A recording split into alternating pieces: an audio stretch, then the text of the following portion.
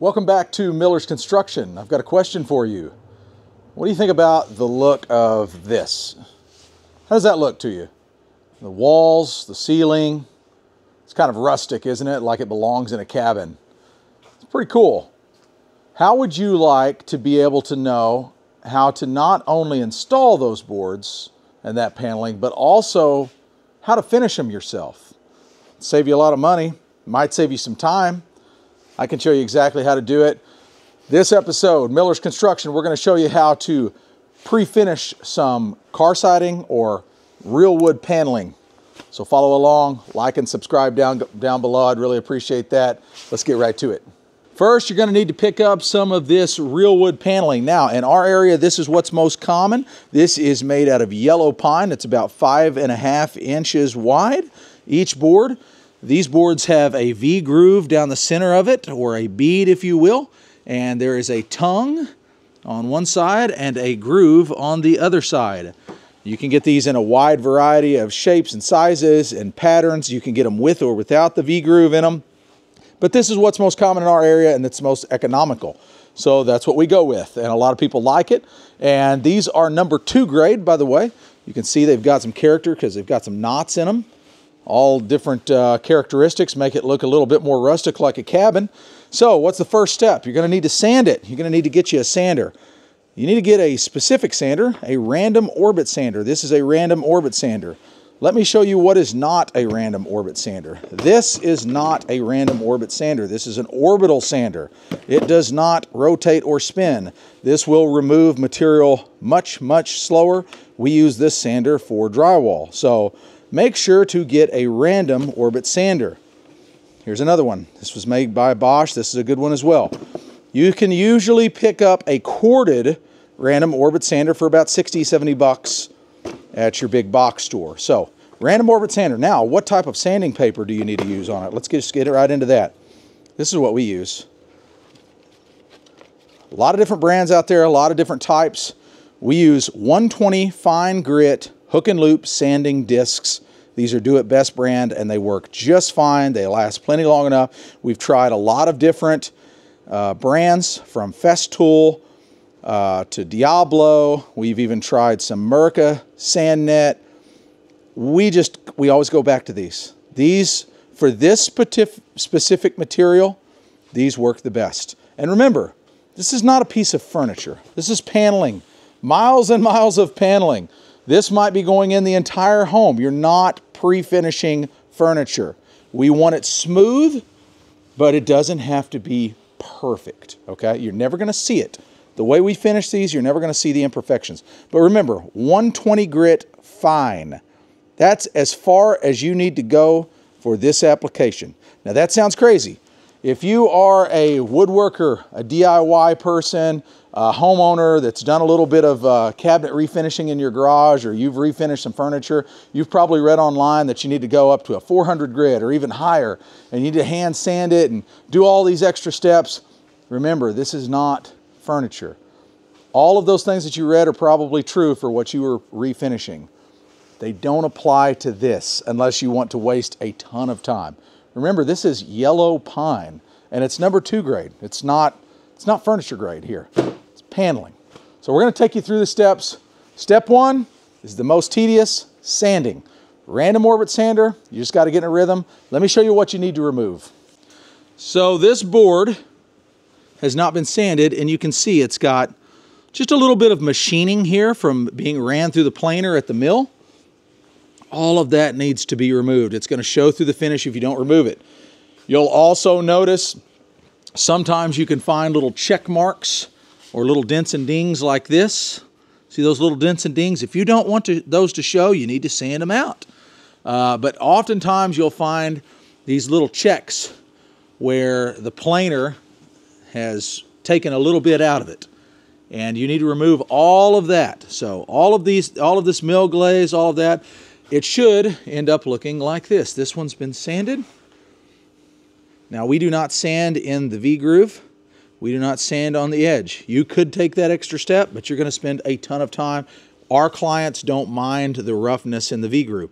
They just want to be able to run their hand over it, and it's nice and smooth, and it looks good. So This one's sanded, this one's not. You can see the color variance there. So just keep that in mind. You can, you can go crazy on this stuff and spend a lot of time, but just remember how much you're going to pre-finish. That's going to add to a lot of time if you start getting into this nitty gritty detail right here. Sand the surface smooth, call it a day. That's my suggestion. So let's just show you a little bit of sanding here. We'll just start at this end. See all this uh, mill glazing is what I call it.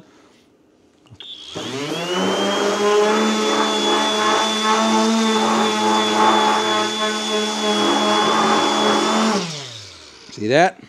Nice and easy. Doesn't take that long.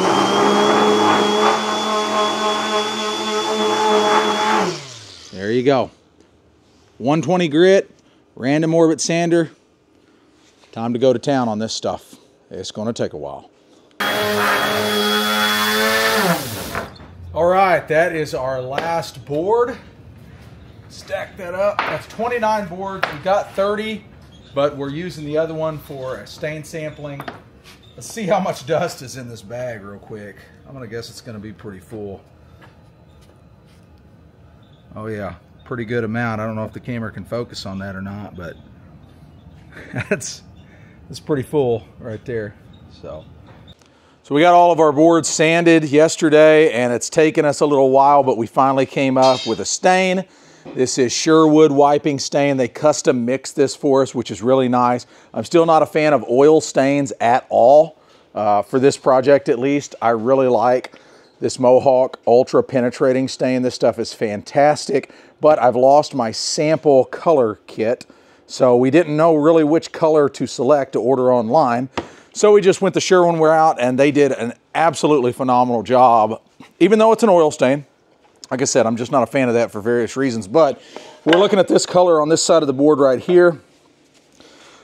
So once we get our clear coat on, it's gonna look really good. Um, I think they just did a fine job. So if you're in a pinch, go to Sherwin-Williams. They'll custom match uh, or custom color mix you some stain. Now, we'll talk a little bit about why I don't like oil stains. It's just not, um, not friend, user-friendly enough. I have to wipe this with a rag by hand, whereas this I can spray and it's perfectly consistent every time. It's faster, it's alcohol, so it dries crazy fast. It's cold. It's going to be cold the next few weeks. This is going to take at least a couple days to dry, whereas the alcohol overnight easily would dry it.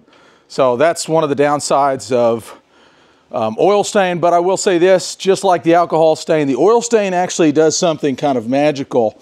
Um, once it is dry, it will cause the grain to really lay down flat. So your first coat of lacquer you won't have as much grain raise. So that is a benefit to staining these boards. If you finish them raw like this, which we've done plenty of times, that first coat of lacquer that you spray on, it raises the grain like crazy.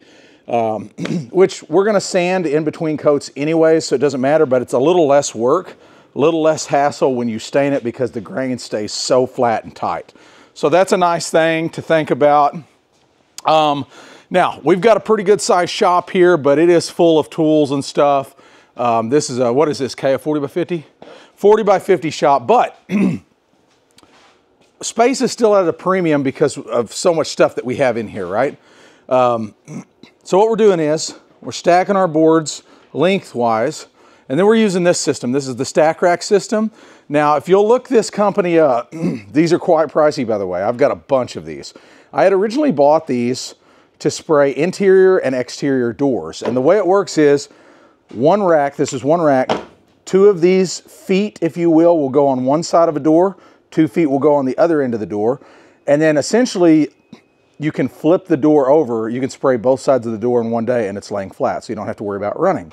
Problem with that system is every door I've ever sprayed using the stack rack system has a permanent bow in the door.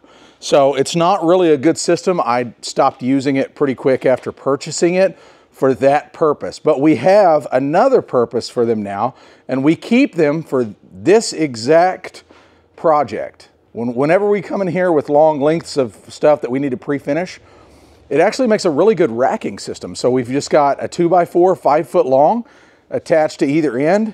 And after this initial base layer, um, we'll be able to start stacking up our stack racks and we'll have just a racking system and you can go really high with this and you can get a lot of boards in a really small confined area. So the stack rack system is really good for that and it's actually somewhat economical um, when you look at other options. This, this, this works pretty doggone good. So anyways, let's get to uh, applying some stain real quick. I'll show you what we do, um, or how we do it, I should say. All right, super important to go ahead and just blow off all of the dust from sanding each board individually before you stain it. This is the stain that we're gonna use. Once again, this is just an oil stain. Um, anytime you've got a colorant like this, uh, stain, you wanna make sure you mix it consistently. So I might stain one, two, three boards, and then I'm gonna come back and mix it again. Mix, mix, mix. You can't mix it too often. So you want to get a consistent color, you got to make sure you mix it because all of the pigments or colorants, they'll float down to the bottom. Now I'm just using a regular cotton terry type um, rag here, no big deal. If you'll come down here, we can show kind of the process. So what I do is I wipe probably a three or four foot section at a time, get the face of it wiped on there really nicely. But here's, here's the trick with this particular um, siding. You want to make sure you get in that V groove, obviously, because that's in the face, but something somewhere that a lot of people tend to miss with this stuff, not only this edge, but this tongue. You want to make sure you get this tongue really good, and I'll tell you why.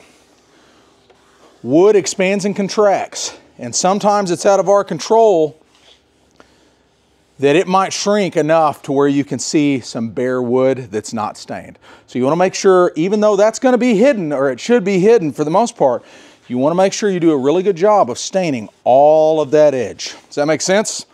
All right, let's get to work. We're going to keep staining here. It'll be a while.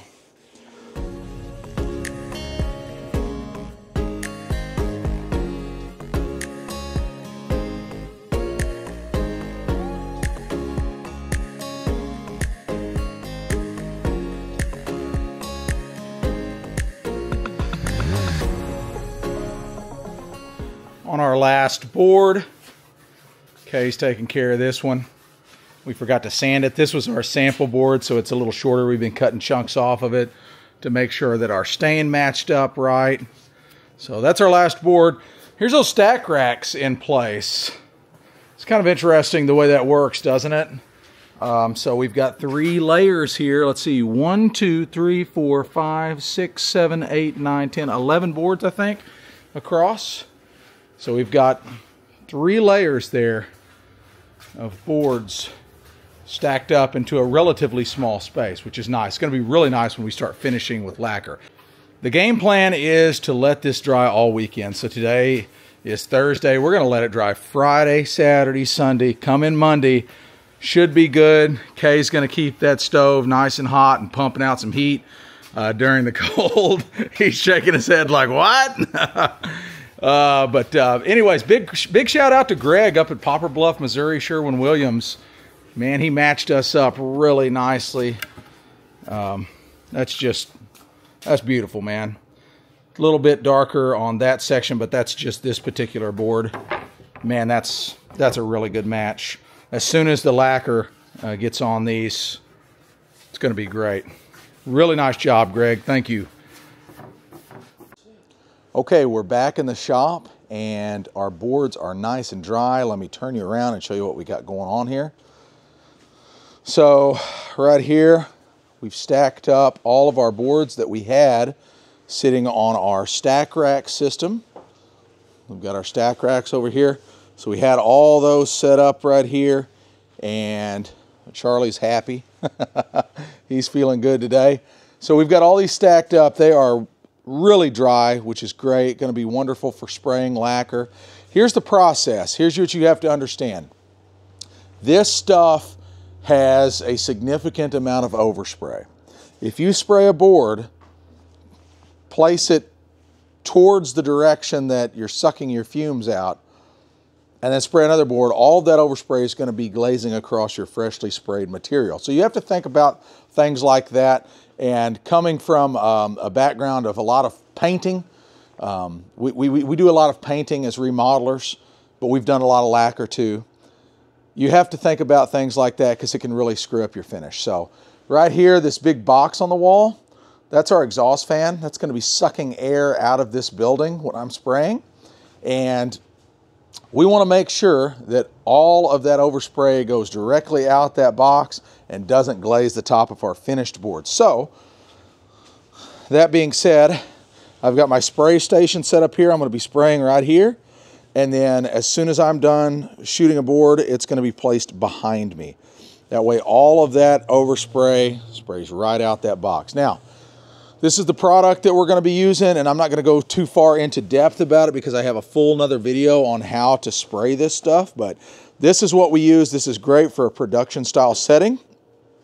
I will be using, let me just take you in the paint room. Grab my weapon of choice here. This is the gun that we've used for a very long time. It's just a cheap $100 Ingersoll Rand HVLP gun. You don't have to have anything special because I know someone's going to ask, what is the tip size? I think it's a 1.4 millimeter. So that doesn't really doesn't really affect us a whole lot. I like a smaller tip size. Just means I'm going to have to thin it a little bit more. Uh, but you want that fine rattle can style spray. Like I said, I'm not going to get into that. I've got another video that I'll link down below that fully covers how we spray lacquer. But right now, I need to get this stirred up and I need to get it thinned down with some lacquer thinner. Here's my super scientific mix. I pour about half of a gallon out into just a random container. Now I know how much uh, lacquer thinner I need to pour in here to thin it properly. My goal, let me just set this down. My goal is to get the fluid to the bottom of this circle yeah, super scientific. Really, really getting accurate with the measurements here. Hope the sarcasm's coming through in the video. So I didn't quite get there with this. And this is just straight up lacquer thinner. Nothing special. Looks like I'm going to have to open another gallon. You can see I didn't quite make it. There we go. Got it filled up to that point with thinner. Now I need to just start mixing and mixing and mixing. We want this mixed really, really good with a good paint stick. Shout out to Black's Lumber Company. The best paint sticks. You got to ask for them though. They don't just throw them on the stack like they do at Home Depot. But that's okay. Mix, mix, mix. So I've got my lacquer thinner mixed up really well. You'll notice I'm wearing gloves. That's not necessarily because it's cold in here. That's more because I get what I call trigger finger. This steel, I, it'll wear on you. Also 30 PSI at the gun. Um, so here's our first shoot. We're gonna do our first test shoot. Now this is how I pour this stuff in. I just grab it by kind of like that. Kind of see how I'm grabbing it there and I just kind of dump it right on in. Keep rolling. Good enough. Boom boom. And we'll, we'll go through a little bit of this. Go and cap it. Also if you're a pro sprayer and you're thinking that I don't have the right respirator on it's that's true. I don't have any filters for this. So um, it just is what it is people. I think I'll be okay for today. We don't have that much to spray so keep that in mind. Now I always start down there. I always start down at this end of the board. Let me shoot a little bit out here. Oh yeah. All right, can you kind of capture? See how fine that mist is? That's what you want. you want a nice fine mist. Now, I also like to control my fan width. This is my fan width, so imagine that it's like a mouth. I want to close that fan a little bit because essentially what I'm going to have to do is I think I, I always end up changing. Sometimes I'll shoot one side and then come back the other side. Sometimes I'll spray the whole thing at once. Um, it just depends on how I'm feeling that day, but we'll just see how it goes. We've sprayed a ridiculous amount of this too, by the way. so.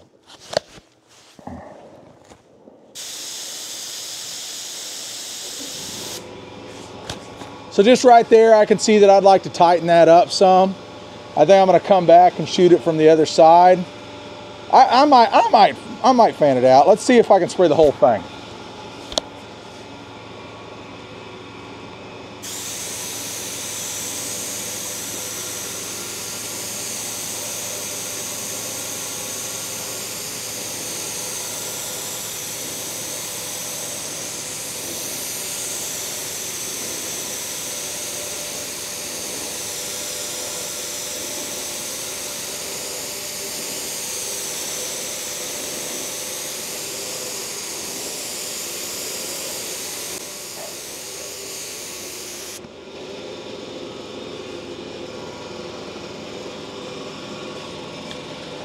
That'll work, folks. I'm just gonna shoot the whole thing. The key to lacquer, you almost can't put too much on when you're first shooting it, especially with this yellow pine, it's really gonna soak it up. Um, and you want it to level off nicely. If you don't put enough on, you're gonna have orange peel or you're gonna have dry spray. Those are two things you don't want. You wanna put enough material on. So I'm using an HVLP sprayer. You can use an airless if you want. Airless is extremely difficult to clean up afterwards. Lacquer is going to ruin the insides of it if you use it constantly through it. I just don't like spraying lacquer through an airless machine. I've never done it because I just don't want to ruin a machine. This cup gun was purchased, I think, in 2004, maybe earlier than that, and it's it still works fine. So it's just steel parts, easy to clean up. It's a little slower. I have to go slow with it, but it's just something that we've always used and we've had good success with. So we've got what 30 boards to spray, okay? So um, let's get after it.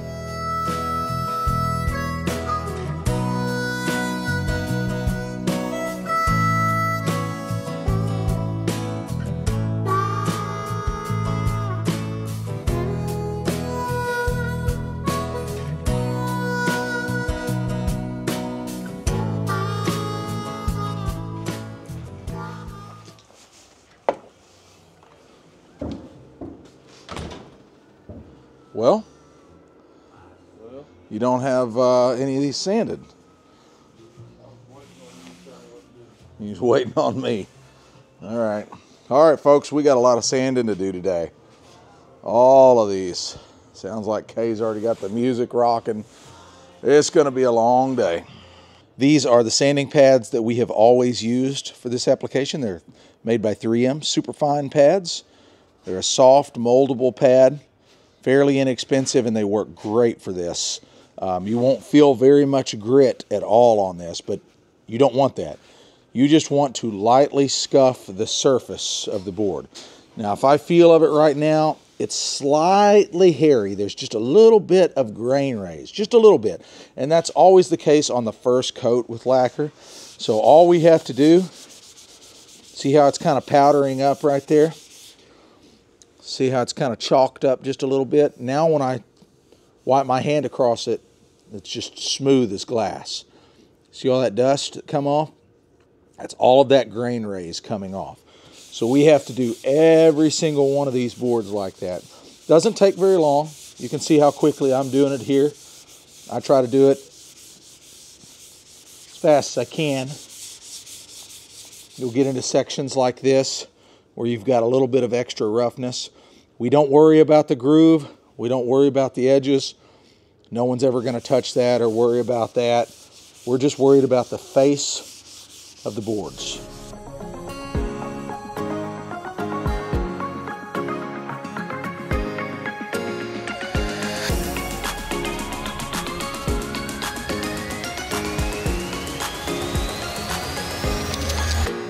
All right, so we are back to the finishing stage where we need to go ahead and put another coat on. We just sanded all of these boards. The thing you got to keep in mind is we don't need the surface extremely clean when it comes to the dust from sanding it, that powder.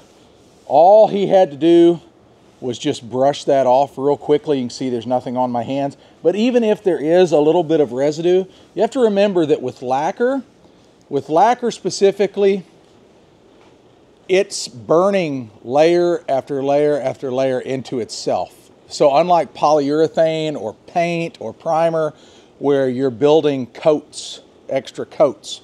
So you put the first coat on and then the second coat sits on top and then the third coat sits on top. With lacquer, each layer is actually melting into each other. It's burning into it. So you're actually creating a mil thickness. You're not creating coats, you're creating a mil thickness of finish that is one. Does that make sense? I hope it does. So if there's a little bit of lacquer dust on the boards that we're shooting, we're not worried about adhesion because it's just going to melt right into itself. Hopefully that makes sense. We want it as clean as possible, obviously, but we're not crazy particular about it.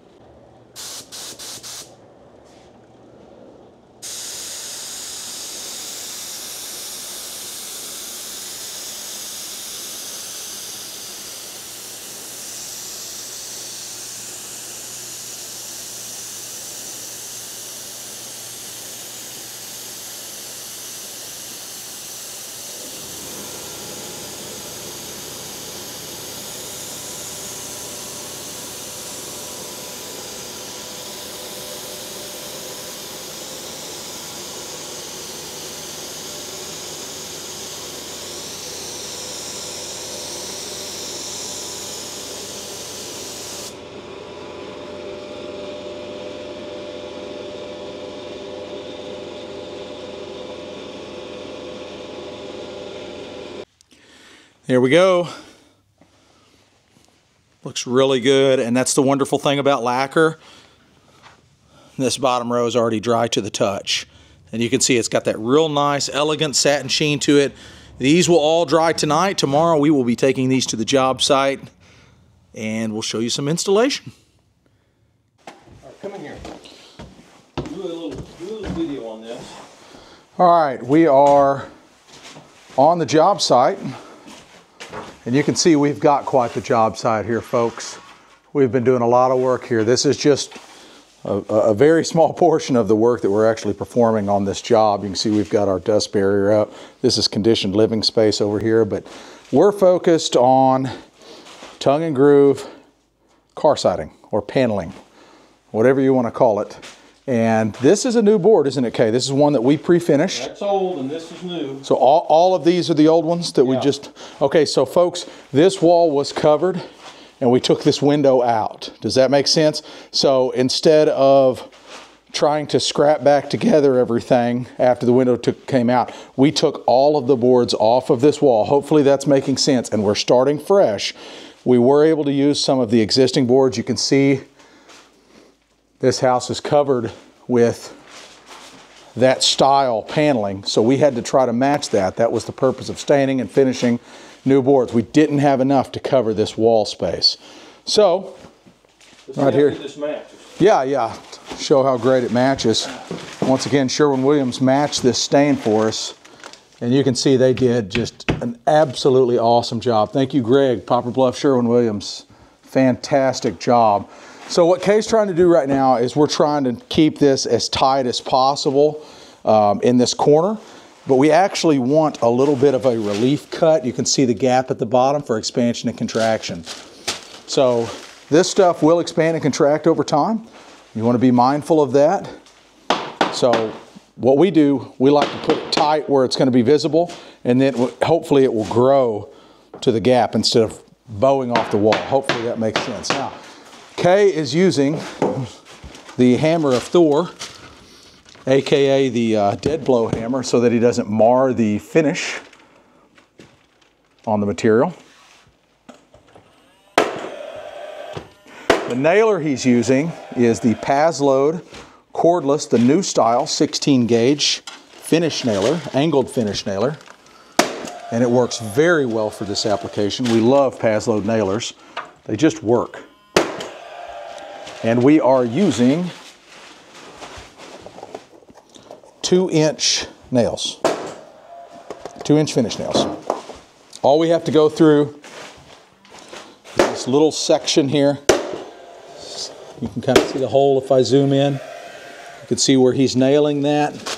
So that will be hidden by the next board and we are nailing directly through the drywall into the stud. So two inch really is all you need. And these hold very tight like that. Two inch angled finish nails. We've got to cover this whole wall. And this is kind of a unique application, running it at a 45 like this. Kind of gives it a cool effect. Uh, wasn't our idea. This is the homeowner's. In fact, the client uh, installed this himself. So uh, we're just trying to match up with what he's got. We wanted to do this, kind of a, kind of a backstory why we took the window out. Uh, we're putting a staircase up here, and this is going to be a loft, new loft that we're building up here. So this was next on the list. But it's looking good. Looks like our color match. That's nice, isn't it? Color's good. Yeah, color's really good. But you can see that relief cut there at the bottom, folks, where we've got room for expansion. Got a little bit snug on one, but that's not a big deal. Those were there. Yeah, okay, those were already in place. I forgot about that. So, yeah. Out here in the garage, this is our stack of pre-finished material. This is what we finished in the shop. And we are breaking it down just with a circular saw and a simple framing square. And then we're using the miter saw to kind of touch it up if our, our, our wall is kind of out of plumb in there. So we want those joints to be nice and tight. So you can see Kay here, he's not cutting this on a perfect 45. He's having to trim a little bit off.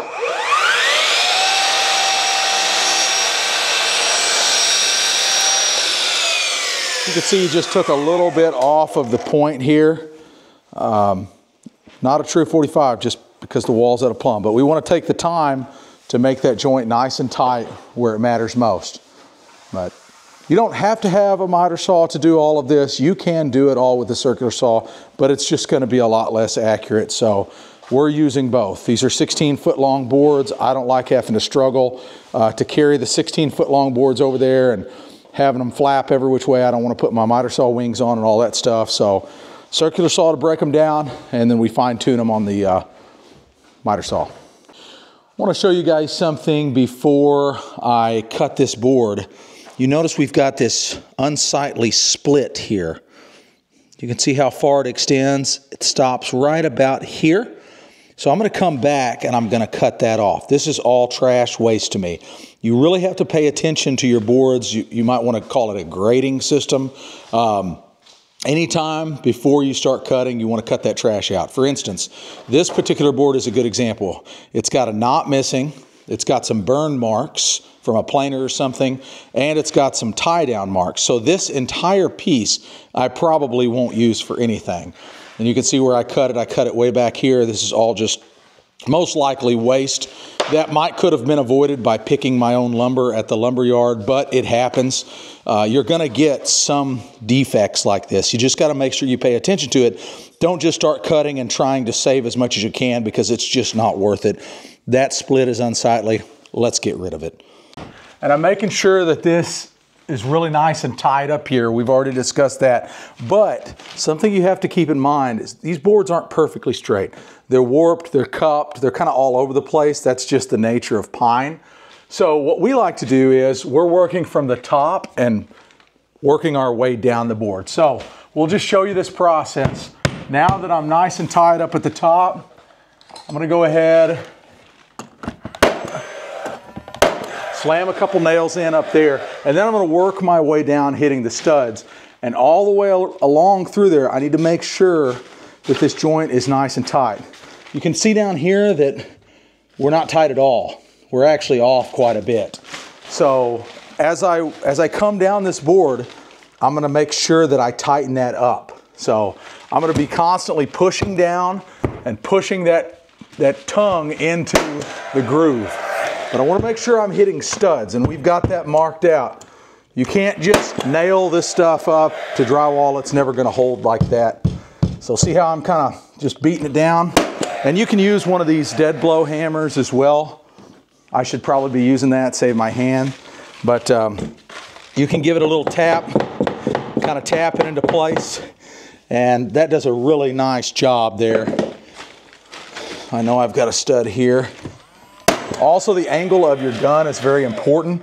If you'll, if you'll see kind of the angle of it, you want to make sure that your nail is not exposed on the back side, but also that it's not visible on the front side. So if I, if I just kind of follow the angle of this 45 or whatever this is, um, where they've cut this tongue on here, if I just follow that, that nail's gonna follow that and you can see there, that won't show on our finish, but it also won't get in the way back here when our groove slides over our tongue. Hopefully that makes sense for you. So just a couple of quick tips there. Now, on occasion, you'll get into a board that is exceptionally warped. Maybe it's perfect at both ends, but it's warped in the middle and you can't pull it down.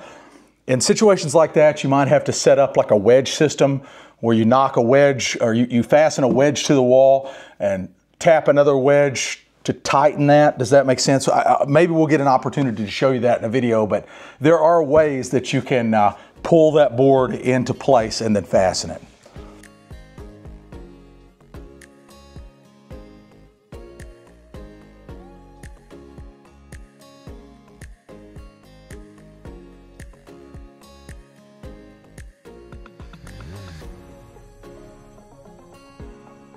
Just like that, all of our tongue and groove, car siding, what we call it car siding, wood paneling, it's all been installed and we think that it turned out so nice. A couple extra points before I let you go on this video. If you are remodeling, we do not recommend installing this over bare studs. You want some sort of substrate behind there. So in other words, you're gonna want drywall or some type of plywood, OSB, something like that. If you've got a current room that's been drywalled, you can put this right over the top of that drywall. We just don't recommend installing this over bare studs because it's not going to be a sufficient air seal. Every one of these cracks, air can kind of come through there and you might feel it, especially if your exterior of your home isn't sealed up very tight. And unfortunately, in the United States especially, we have leaky homes, right? So we highly recommend installing this over some form of substrate. Drywall is okay. OSB or plywood is better, especially if you tape the seams, just to keep the airflow to a minimum. Hope that this video um, really helped you guys. Look for more step-by-step how-to videos on my page coming very soon. If you found this video helpful, please hit that like button and subscribe. That really helps us out helps support the channel and helps us to create more videos for you.